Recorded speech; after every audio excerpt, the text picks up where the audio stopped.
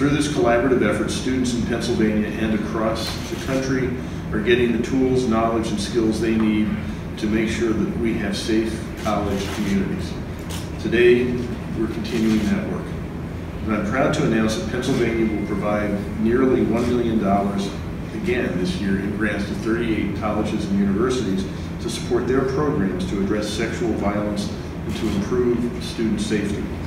By centering survivor rights, campus safety for all, and evidence-based tactics for sexual assault prevention, in both the grants issued and the proposed state legislation, the work being done through It's On Us Pennsylvania provides a powerful alternative to what is being proposed by Secretary DeVos and her team in Washington.